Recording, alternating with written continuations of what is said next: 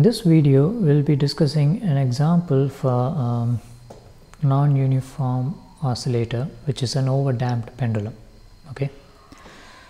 So um, this is a pendulum, okay, which has a, a, simple pendulum, but in this simple pendulum, this whole thing has been immersed in a highly viscous fluid, okay, and the gravity is acting in this direction.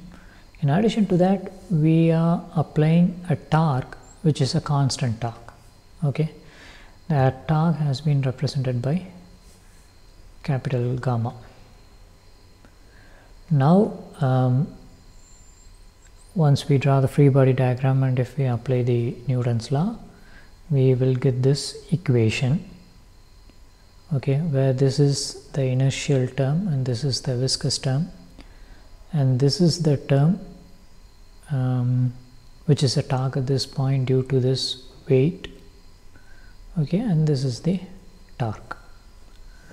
Okay now um, since it's a, a, a overdamped system we can ignore the um, second order terms. And if we ignore the second order terms we will get this form. Okay and in this form uh, what we are going to do is we are going to take this uh, term and put it that side and then divide this whole thing by b. Okay this b. And if we do that what we will get is theta dot which is equal to gamma by b minus mgl by b into sine theta. Right? So maybe I will try to write it.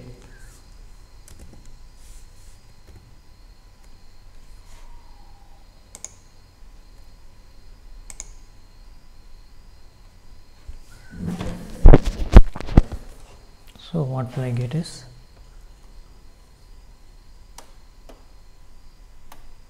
Theta dot is equal to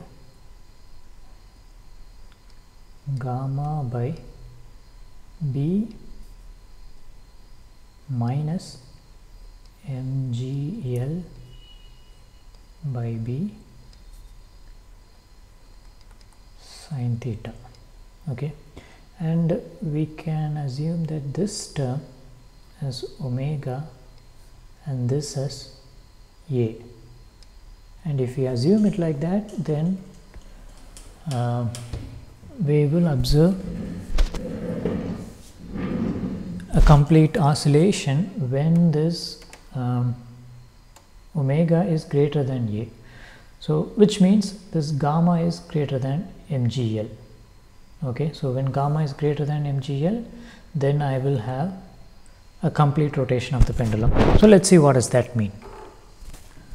So if we see here so what is this mgl mgl is the maximum torque okay exerted due to the weight at this point right? And if that torque is less than this gamma which is the applied torque then this torque can overcome this weight and it can have a complete rotation. So it will show an oscillatory behavior and if gamma is less than that torque okay less than this mgl it will not be able to reach mgl sorry it will not be able to reach this particular configuration. So somewhere it will stop where this gamma will balance this uh, load due to this mass which is mgl sine theta right? So that's a, a fixed point okay? And there will be one more fixed point right? We have seen that there are two fixed points so there will be one more fixed point.